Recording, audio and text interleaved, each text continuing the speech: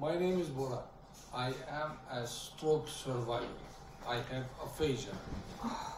It is difficult to read, write, and speak. Hi, I'm Jamie.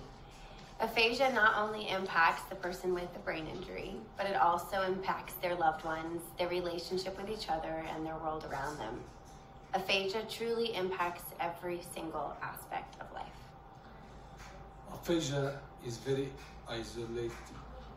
After my stroke, I could not communicate with the world.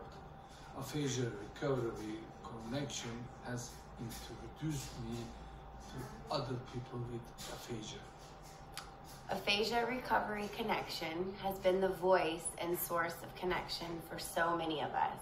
This year, ARC is planning the Bloom Retreat for people with aphasia and care partners to form genuine connections in person. As humans, we are hardwired for connection. It's important to have a community to lean on as we navigate this new life. The Bloom Retreat will do just that. Please come and join us at the Bloom Retreat. We would like to meet you.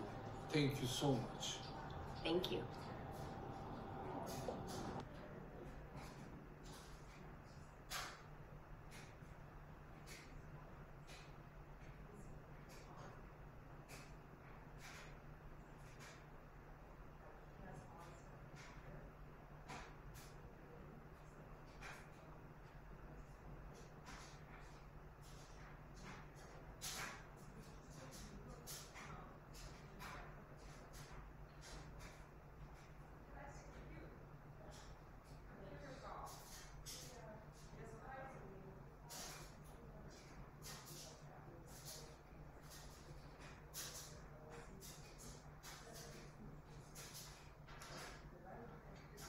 Like, it just keeps going over, like, I, I don't know where to find anything, nothing's organized.